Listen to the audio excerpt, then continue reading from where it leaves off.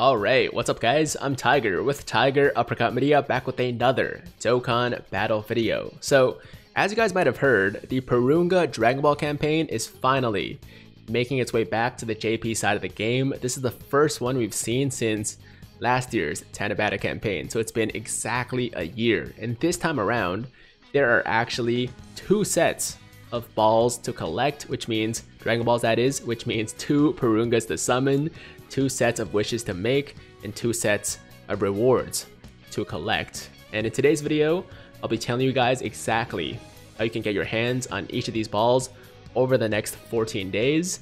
But before we get into that, I do want to give a big shout out to Markkanen3 on Twitter for posting these translations and these missions, I believe before anybody else I've seen. So thank you for that. And number two, I want to give a quick explanation to the newer players out there who haven't done one of these campaigns before exactly how this works. And it's actually pretty simple. So starting tomorrow on June 30th, we can start collecting these Dragon Balls and one ball will become available every single day for the entire campaign. So like I said, the first ball is going to be available tomorrow on June 30th, and then the second ball will be available on June 1st, or sorry, July 1st, third ball July 2nd, fourth ball July 3rd, fifth ball July 4th, and so on and so forth until July 6th, where the seventh and final Dragon Ball of the first set will become available.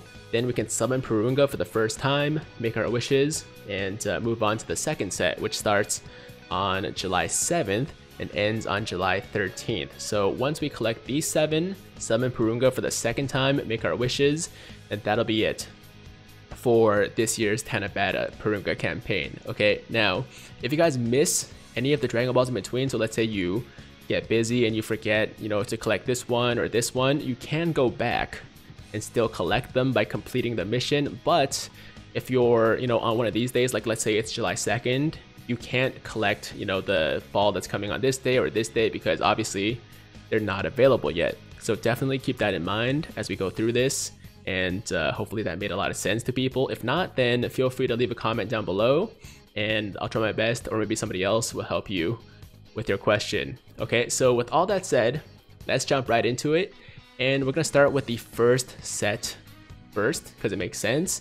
And the first Dragon Ball will be available tomorrow, June 30th. And to get this ball, you have to use the Wish Strip, Wistrip 3 specifically, on the exchange shop or Baba shop. So if you guys don't know what the Wish Strip is, it's, it's essentially that new item with like a little ticket on it that can be used to trade for a pool of 70 or one of a pool of 77 units in the Baba shop.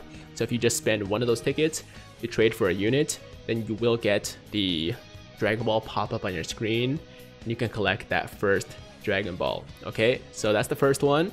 The second Dragon Ball of set 1 will be available on July 1st. And to get this one, you have to clear all six stages of the punching bag event. Now, I believe if you already cleared the stages, then you should be good to go. You should get that Dragon Ball immediately as soon as it's, it's available.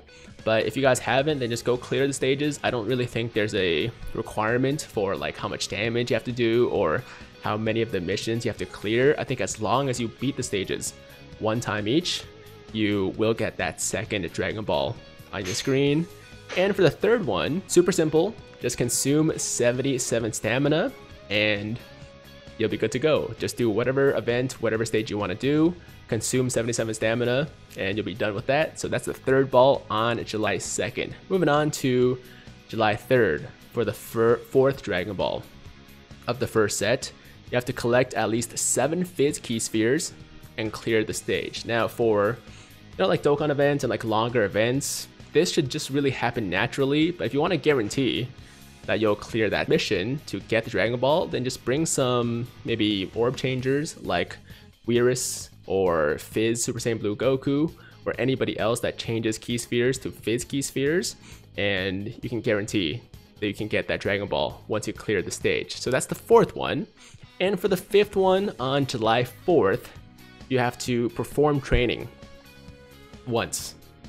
That's it. Once again, super simple, just train a character and you'll get your Dragon Ball on July 4th. And now for the sixth Dragon Ball on July 5th, you have to collect at least 7 STR key spheres and clear the stage. So same concept as the Fizz one here. Just uh, bring some STR orb changers or bring an STR orb changing item and it should be pretty easy to get that Dragon Ball. And now for the seventh and final Dragon Ball for the first set of wishes on uh, July 6th, you have to perform a Z Awakening once. So just perform one step of any unit's Extreme Z Awakening, and you can get that final Dragon Ball and summon Porunga for the first time during the campaign. Make your wishes, and now we can move on to the second set. Now real quick, I'm gonna take my head away so you can actually see everything because I know my head's blocking the bottom view. So if you guys wanted to like take a screenshot of uh, Marketing's post here just to save somewhere, then go ahead and do it right now. And now we can move on to set number two, which like I said starts on July 7th. And to get this first Dragon Ball here, you have to tap on the banner on the home screen. So what this means is you guys know how like at the bottom of your like home screen with your wallpaper or your character rotation wheel, um, there's like these like little banners that scroll across, right? So what you want to do is flip through those and find one that looks different. I think it should either have like a Dragon Ball on it or some stars or whatever, but it's very obvious that this one is different from the other ones. Click on that one and uh, the Dragon Ball, the first Dragon Ball for the second set will pop up. And then for the second Dragon Ball on July 8th, you have to collect at least seven tech key spheres and clear a stage. So same thing as the previous ones. Bring orb changers or orb changing items for tech and you'll be good to go. And then for the third Dragon Ball on July 9th, you have to perform a friend summon. All right. I don't know if it's like a multi or a oh wait, can you perform singles on the friend banner? I don't remember, but just do a multi. Like who cares, right? So do a multi on the friend summon banner, and uh, you'll get that third Dragon Ball for the for the second set. For the fourth ball, available on July 10th, you have to collect at least seven AGL key spheres and clear a stage. Same concept, AGL orb changing units or AGL orb changing item and clear the stage. And then for July 11th, the fifth Dragon Ball of the second set, you have to get Baba points. So I'm pretty sure what it means is you have to go to the Baba shop and Baba a unit and get some Baba points that way. Obviously, you don't want to be Babaing anything you need, so either Baba like random, you know, SRs, or you can just Baba like a free-to-play unit, get some Baba points, and the fifth Dragon Ball will be yours. And then uh, for the sixth Dragon Ball of the second set on July 12th, you have to collect at least seven Int Key Spheres and clear a stage. Same thing as before, bring the Orb Changer or the Orb Changing item. And then for the seventh and final Dragon Ball of set 2, and basically the last Dragon Ball of the campaign, um, you have to clear a stage with a team that includes all five types. All right, so that means one unit that's tech, one unit that's AGL, one Fizz, one STR, and one Int. So once you have all five of those on your team, you clear a stage. I don't think it really matters which one, and you'll get your fifth and final Dragon Ball. And I did take my face away again, so you guys can take a screenshot if you'd like of uh, Marketing's post right here to save for, you know, future use or future purposes. Or you can just bookmark this um, video if you want to see my face again. It's up to you, but there you go. And those are all the clues. Now, real quick before we go, I do want to uh, show you guys what the what do you call it? The wishes will most likely look like. Oh, by the way, this is the animation for when you summon Porunga. And obviously when it comes to JP, it's going to be in Japanese, but you know, there's like the lightning and the, or there's the balls and then the lightning and then Porunga appears, right? So pretty dope. There we go. And as far as wishes go, they actually haven't updated the new wishes. So I'm not 100% sure what they look like because there's a chance they might be different from last year. But if we look at the ones from last year, I think it's going to be very similar. They might be a little bit better, but it's going to be simpler. So last year, there were seven different wishes. The first one gave two wish strips. The second one gave three Grand Kais of each type. The third one gave hidden potential um, orbs and a good amount. And then the fourth one gave some uh, Hercule statues. I believe it's a total of 40 million Zeni or something like that. Not worth it, basically. I mean, it's not enough to make it worth a wish, in my opinion. And then the next one gives a bunch of training items, awakening medals, as well as training locations.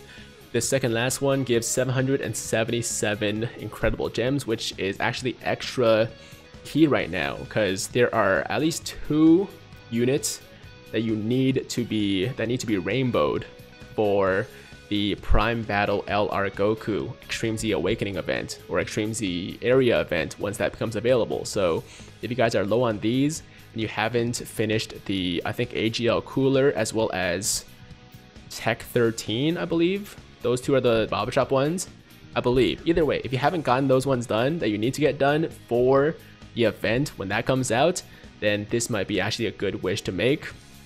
And then the last one here is for support items. All right, so my usual recommendation is orbs, kais, and if you want the wish strips, if you're missing like dupes of some, of those units, then it might be worth it. But otherwise, uh, it's really up to you. Like I said, these incredible gems could be extra useful for you know the upcoming Extreme Z area for the Tech Goku.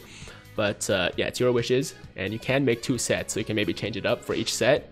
Totally your call. But that's pretty much it, guys. That is gonna do it for today's video. Uh, that's how you get all the balls. Big shout out to Marketing3. Big shout out to the Dokkan Wiki for all the good work that all of them do. And I hope you guys enjoyed today's video, guys. Good luck in collecting your Dragon Balls. Have fun with the Tanabata campaign. Good luck in your summons for Kaioken Goku and Evolution Vegeta. And as always, if you guys liked today's video, then make sure to like the damn video. And if it's your first time watching me, first time to the channel, and you like what you see, then definitely hit that big red subscribe button to join the Tiger Squad now. And while you're at it, hit that notification bell too, so that YouTube knows you want to stay up to date with all my latest content. And that's it. I'm out of here. Until next time, hope you guys have a fantastic, fantastic day. I'm Tiger with Tiger Uppercut Media, signing out.